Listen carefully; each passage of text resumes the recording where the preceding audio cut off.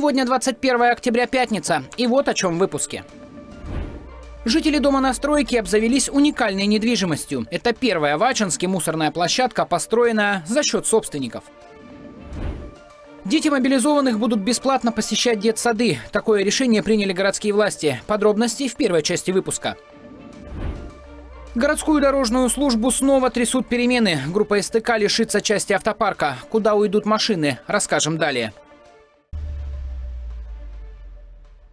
Готовь обеды выгодно на Домаркет. Скидки до 45% на посуду. Готовь обеды выгодно на Домаркет. Скидки до 45% на посуду.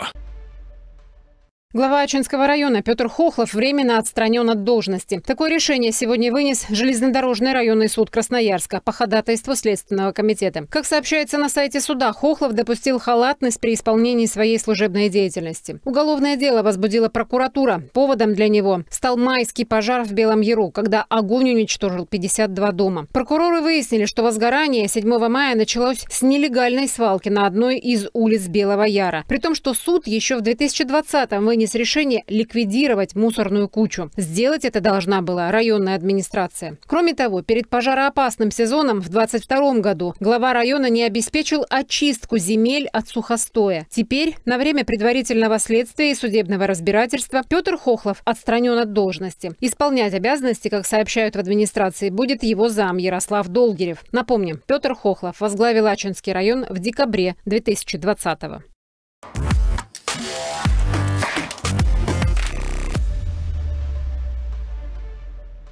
Состояние мусорных площадок в Ачинске – тема актуальная. Обычно к нам в редакцию приходят сообщения с жалобами на захламленность, нерегулярный вывоз мусора и так далее. Но сегодня, после обращения к нам телезрителя, мы столкнулись с примером, когда вместо жалоб люди действуют. Впрочем, смотрите сами. Вот такое архитектурное решение. Была площадка, на которой стояли контейнера – Теперь контейнерами перегородили въезд во двор на стройке.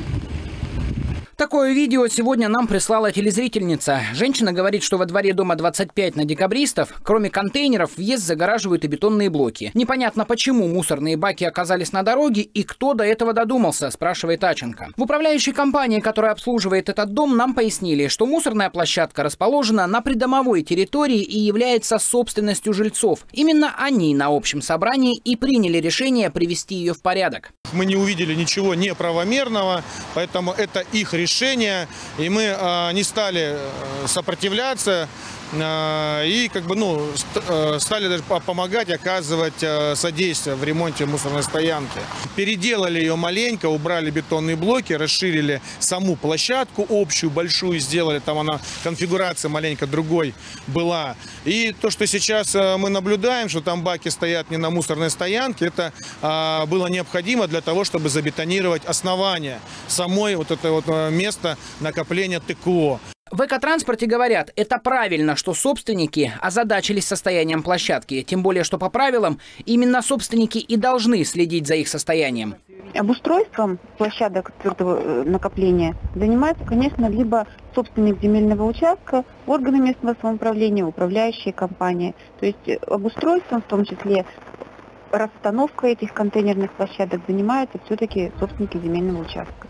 Как и ремонтом, содержанием. Это очень вообще позитивно, когда э, ремонтируются контейнерные площадки. Вот в данном случае она, конечно, сейчас в более уже хорошем виде будет, чем вот была до.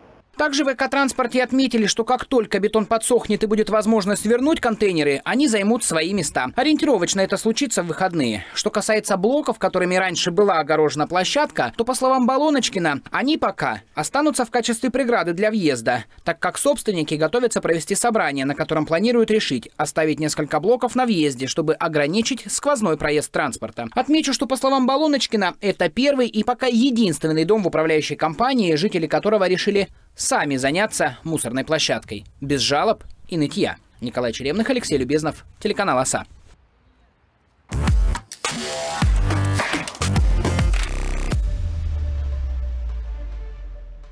В Ачинске дети мобилизованных могут посещать детсады бесплатно. Поддержать семьи, где отцы находятся в зоне СВО, предложил городской совет депутатов в начале октября. Местная льгота начнет действовать с 1 ноября. Об этом телеканалу ОСА сообщила заммэра Татьяна Быкова. И пока решение принято до конца года.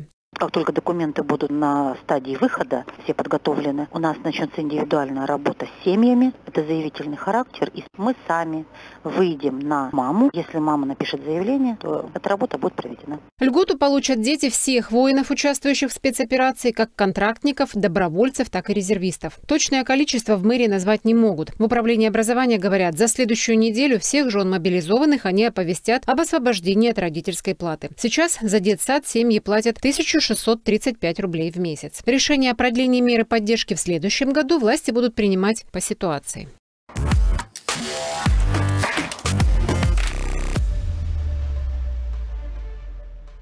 Спецавтотранспортное предприятие будет содержать улично-дорожную сеть. Это не новая фирма. В него превратится группа СТК. Еще она лишится части автопарка и другого имущества. Интересно, что все это делается как бы для финансового оздоровления городской службы. Нам нужно, чтобы предприятие, коли наш не просто так стало акционерным обществом, оно должно зарабатывать. Так проходит рабочая встреча на базе группы СТК. Тут почти все замы мэра, руководство и простые водители. Недавняя проверка счетной палаты нашла много нарушений с выплатами, с использованием транспорта, расходованием топлива. Антикризисная комиссия выработала план по оздоровлению. Часть уже бывшего имущества СТК – полигон, иначе городская свалка, передается в краевую собственность. На ее реконструкцию нужна сотня и не одна миллионов. У города таких денег нет и не будет. Это не все. Балластом сегодня тянет на дно и старая техника. По словам руководителя Валерия Валерия Шпагина почти половина автопарка изношена на 80%. Несколько машин пойдут в металлолом. В следующем году предприятие получит новый транспорт на 50 миллионов. В том числе планируется купить и подметально-уборочный прицеп. За действующим предприятием, которое останется в ведении города Ачинска, останется э, основной участок, это южная промзона, то, где мы сейчас находимся, и земельный участок, и все объекты недвижимости, гаражные боксы. После разделения убирать улицы, содержать придорожную структуру останется спецавтотранспортное предприятие. Это пока рабочее название. Сейчас ему предстоит искать и новые способы заработка. Несколько лет Ачинский транспорт, а потом СТК, получала контракты на перевозку чиновников мэрии. Теперь мэрия решила возить себя сама. У нас администрация города как сапожник без сапог. То есть мы техники, у нас те, э, наша техника для обеспечения работы наших сотрудников, ее нет. То есть мы вынуждены в конце года проводить торги.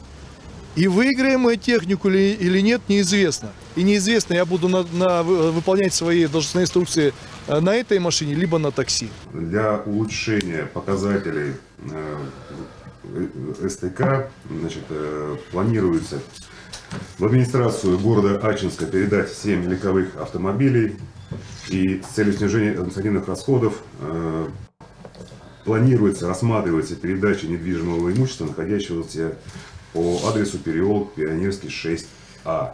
Все перемены в городском предприятии планируют завершить до конца года. По оценкам мэрии, прибыль с учетом перемен может составить всего 600 тысяч рублей. Мэр Титенков говорит, предприятию надо помогать. Нам нужно, чтобы предприятие, коли наш не просто так стало акционерным обществом, оно должно зарабатывать.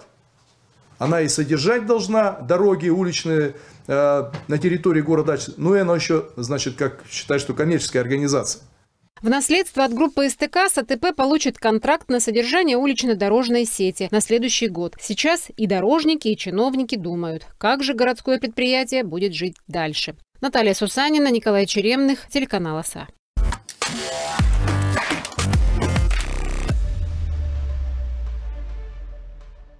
Внимание! В рамках программы профилактики жителей города проводится профессиональная диагностика слуха. Проверьте свой слух бесплатно. Запишитесь на сайте или по телефону 30 100. Аудионика. Стоит только захотеть. И в доме новая мебель от КМК. Сеть мебельных салонов КМК. Просто всегда удобно. На дворе осень, а это значит, что необходимо позаботиться о своем здоровье. А еще с наступлением отопительного сезона важен здоровый микроклимат в доме. Витамины для взрослых и детей, биоактивные добавки, ионизаторы и увлажнители воздуха, солевые лампы. Все это вы можете приобрести в аптечном центре губернской аптеки по адресу улица Кравченко, 7А.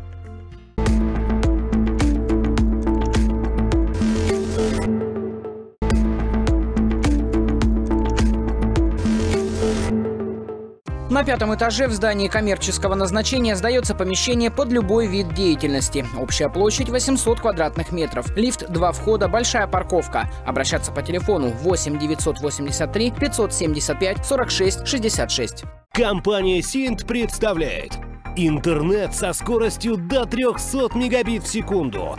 Подбери свой тариф на выгодных условиях. Все подробности узнавайте на сайте, в офисе оператора и по телефону 56 300. Инжиниринг строительства обслуживания приглашает на работу менеджера-сметчика, специалиста снабжения, конструктора, газорезчиков, электросварщиков, монтажников, изолировщиков, мастера общестроительных работ. Обращаться по телефону 310 73. Собеседование проводится понедельник и среда, АГК, вторая проходная с 9 до 11 часов.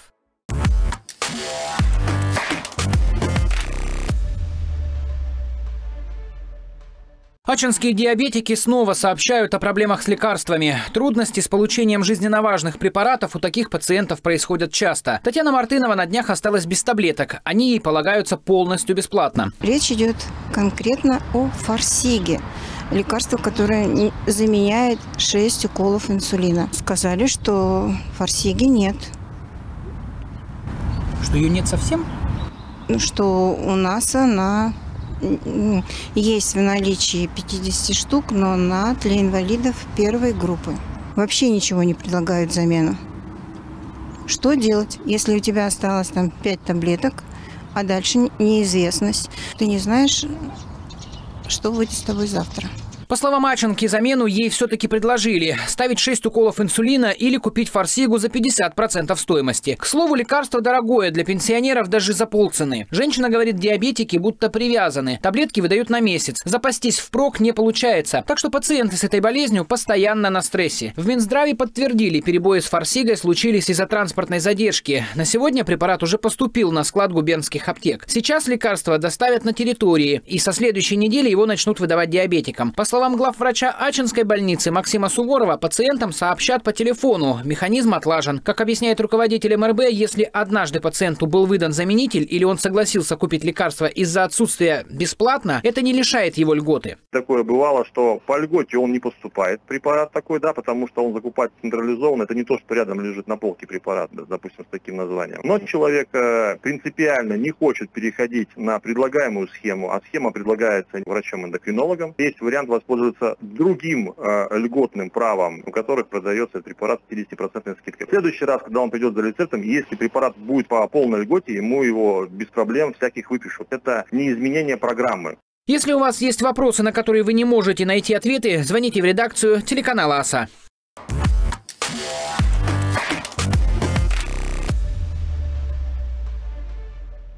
Самый большой дорожный ремонт в Ачинском районе близится к финалу. Сейчас дорожники готовят тротуары под укладку асфальта.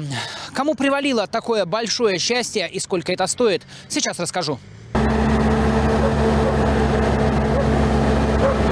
Такого ремонта жители Малиновки не помнят давно. Люди, говорят, не ожидали, что будет сделано столько. Смущает жителей, что ремонт стартовал только осенью, но работой довольны.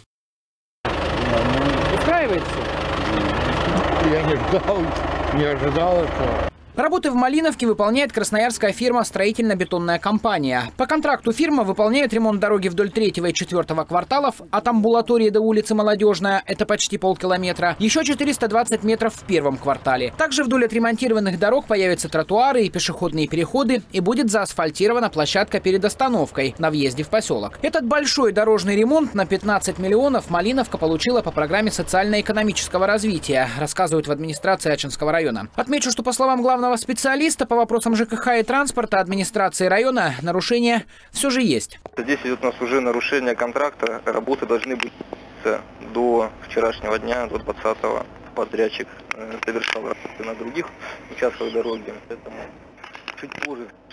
Вообще обещают до середины следующей, конец следующей недели. Добавлю, в этом году на ремонт дорог досталось всем сельсоветам района. Большая часть ремонтов в районе уже выполнена, говорит Чепко. Остались работы в Горном, Тарутинском, Причелымском и Истребовских сельсоветах. Там пришлось менять виды работ с асфальта на гравийные дороги. Да и подрядчики не заявлялись на торги. Сейчас все контракты либо уже заключены, либо на стадии подписания, а все работы по ним должны закончиться к середине ноября. Отмечу, что этот год едва ли не единственный за последнее время, когда в Ачинском районе было столько дорожных ремонтов. Николай Черемных, Алексей Любезнов, телеканал «Оса».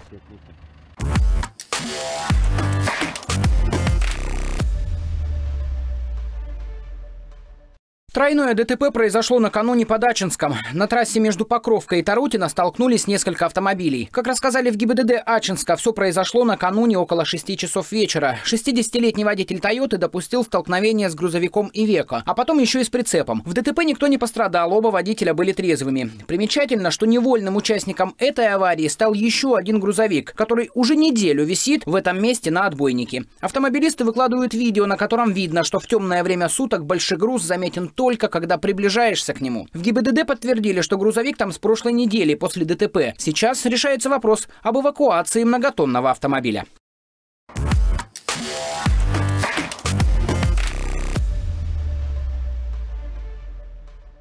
На дорогах края уже начала образовываться снежная каша. Об этом водители предупреждают госавтоинспекторы. Так, например, сегодня снежно-грязевая мешанина появилась на трассе Енисей в районе Зеледеевского кольца. Дорожные полицейские просят водителей быть внимательными на дорогах. А вот синоптики говорят, что выходные будут относительно теплыми, но ветреными и пасмурными. Так, в субботу в Ачинске днем будет до плюс 11, ночью не ниже плюс 9. Ветрено. В воскресенье, по прогнозам, ожидается до 13 градусов тепла, ветер с порывами до 20 метров в секунду секунду. Возможен небольшой дождь. И это, похоже, последние теплые осенние выходные в городе. Уже с понедельника начнет резко холодать. В течение недели днем температура будет в районе плюс 5, а ночью значения будут и вовсе со знаком минус. Так что, ачинцы, самое время насладиться последним осенним теплом.